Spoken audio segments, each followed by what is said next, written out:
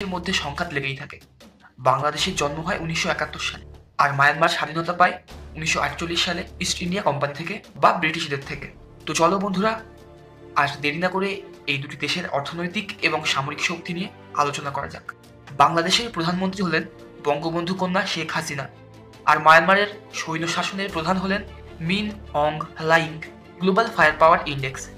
Global Firepower ইন্ডেক্সে বাংলাদেশের স্থান হলো ছেচল্লিশতম, যেখানে মায়ানমারের স্থান হলো উনচল্লিশতম।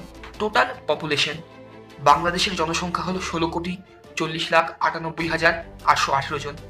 যেখানে মায়ানমারের জনসংখ্যা হলো পাঁচ কোটি সত্তর লাখ উনসত্তর হাজার জন। ম্যান পাওয়ার বাংলাদেশের ম্যান পাওয়ার হলো আট কোটি চার লাখ আট হাজার চারশো একুশ জন। যেখানে মায়ানমারের ম্যান পাওয়ার হলো তিন কোটি দু লাখ ছেচল্লিশ হাজার ছশো বাইশ জন। অ্যাক্টিভ পার্সোনেল বাংলাদেশে একটি পার্সোনেল আছে এক লাখ পঁয়ষট্টি হাজার জনের মতো যেখানে মায়ানমারের একটি পার্সোনেলের সংখ্যা হলো চার লাখ।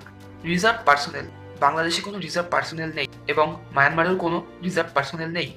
প্যারামিলিটারি ফোর্স বাংলাদেশে আছে আটষট্টি লাখ।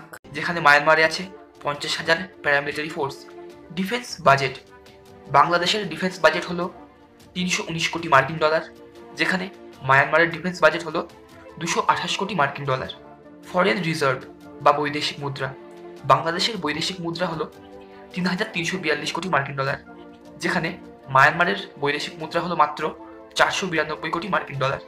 এয়ার পাওয়ার, বাংলাদেশে আছে মোট একশো নব্বইটি যুদ্ধ বিমান যেখানে মায়ানমারের কাছে আছে দুশো আশিটি যুদ্ধ বিমান ফাইটার এয়ারক্রাফট, বাংলাদেশে আছে চুয়াল্লিশটি ফাইটার এয়ারক্রাফট, যেখানে মায়ানমারের ফাইটার এয়ারক্রাফটের সংখ্যা হলো পঞ্চান্ন।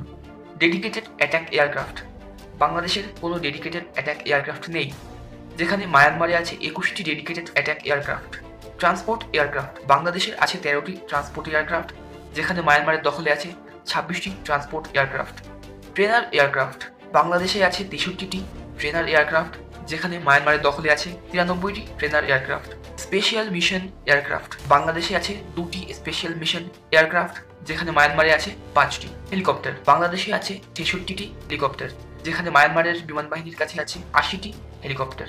অ্যাটাক হেলিকপ্টার বাংলাদেশের দখলে একটিও অ্যাটাক হেলিকপ্টার নেই, যেখানে মায়ানমারের দখলে আছে নটি অ্যাটাক হেলিকপ্টার।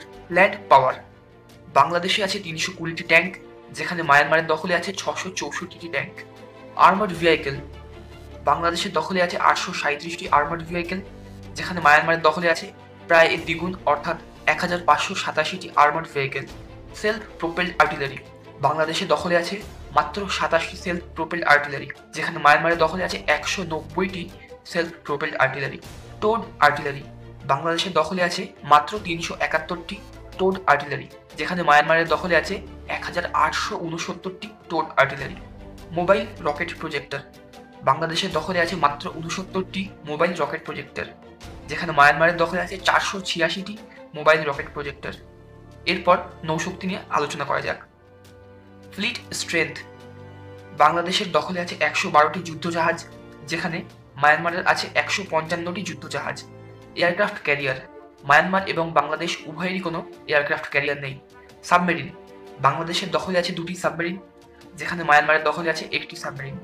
ডেস্ট্রয়ার। বাংলাদেশ এবং মায়ানমার উভয়েরই কোনো ডেস্ট্রয়ার জাহাজ নেই।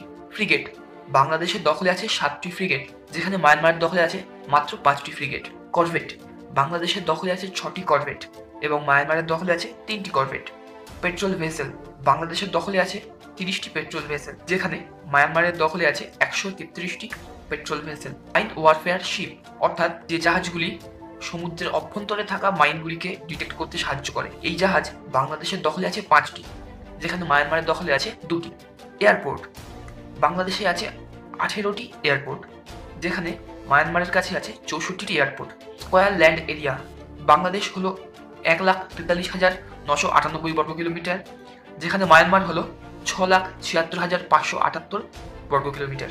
ব্যালিস্টিক মিসাইল, বাংলাদেশের কাছে কোনো ব্যালিস্টিক মিসাইল নেই, যেখানে মায়ানমারের কাছে আছে প্রায় তিরিশটির মতো ব্যালিস্টিক মিসাইল। তার মধ্যে হসান ফাইভ হসান সিক্স খুব গুরুত্বপূর্ণ।